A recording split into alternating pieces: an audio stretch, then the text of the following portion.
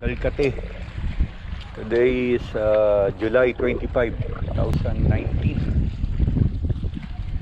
It's very windy. We will try. Maybe there is some uh, trevally or kingfish. Hopefully.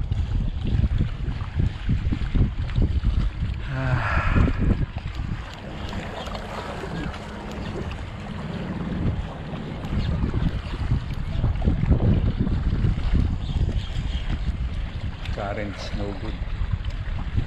Too much current.